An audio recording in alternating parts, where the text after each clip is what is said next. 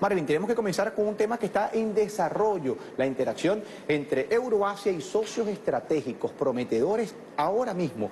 Se realiza una videoconferencia, más temprano participó la vicepresidenta ejecutiva Delcy Rodríguez, ahí están los inversionistas, además participó el propio presidente de la Federación de Rusia, Vladimir Putin, su canciller Sergei Lavrov y todo el equipo de gobierno, pero al mismo tiempo los industriales, los productores, las empresas rusas que se están perfilando desde Euroasia, Recuerden que Rusia es el país más extenso del mundo y es un país euroasiático, es decir, que pertenece tanto al continente europeo como al asiático. Y desde allí se perfilan diferentes socios y Venezuela es un pilar fundamental para la nueva economía.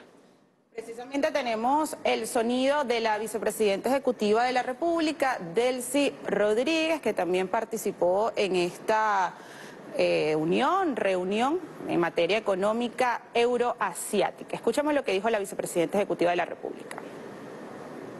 Días desde la República Bolivariana de Venezuela.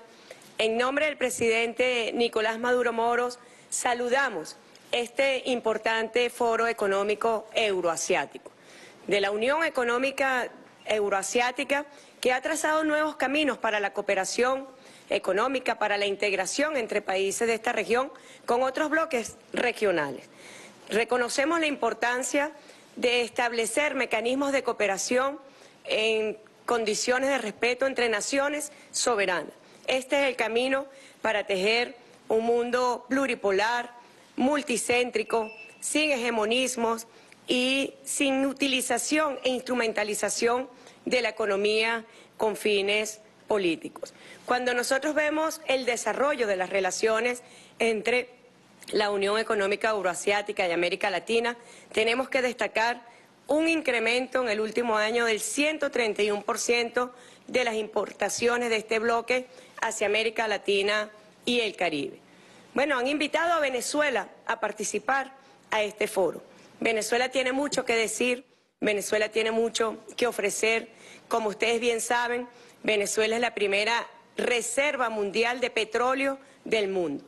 Importantes inversiones pueden recibirse en Venezuela, que tiene además un marco legislativo adaptado para la captación de inversiones de forma segura y de forma transparente. De igual manera, Venezuela es la quinta reserva de gas en el mundo, donde empezamos el camino del desarrollo para la exportación de este importante hidrocarburo. De igual manera, en el área de minerales, Venezuela tiene la cuarta reserva mundial de oro, tiene la primera reserva de diamantes, tiene hierro, bauxita. Son minerales con los cuales nosotros podemos interponer cooperación con este bloque euroasiático. De igual manera, agroindustria, el desarrollo de la agroindustria, el potencial exportador que tiene Venezuela para la Euroasia, para la Unión Económica Euroasiática, de frutas, de productos del mar, de cacao, de carne y otros elementos de la agroindustria venezolana que se ha venido desarrollando y ha venido recuperando su capacidad instalada para aportar al mundo incluso en momentos de dificultad que sabemos que se viven en todo el planeta. De igual manera, tenemos que resaltar que Venezuela ha incrementado sus exportaciones no tradicionales en un 76% y que según la CEPAL se coloca en el octavo puesto en América Latina y en el Caribe en incremento de sus exportaciones. Bueno, son noticias para este bloque económico que hoy está llamando en este foro a la integración económica, a las posibilidades de inversión y yo creo que este es el papel seguro de relacionamiento de Venezuela con otros bloques económicos del mundo y viceversa. Que sea el entendimiento.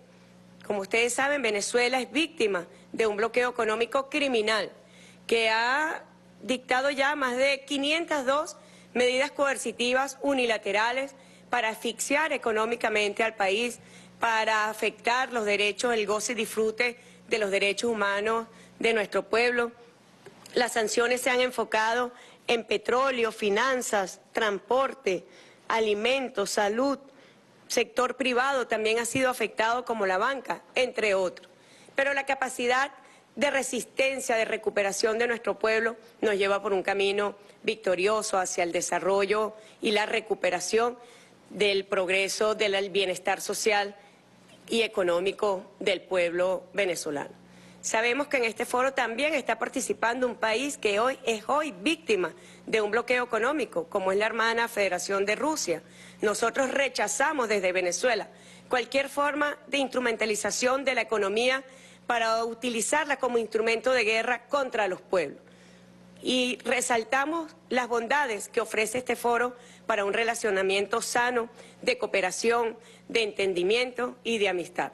Reciba este foro económico euroasiático, el saludo del pueblo venezolano, de su presidente Nicolás Maduro y la certeza de que nosotros seguiremos por este camino de entendimiento y de cooperación económica para afianzar mecanismos de inversión y de cooperación.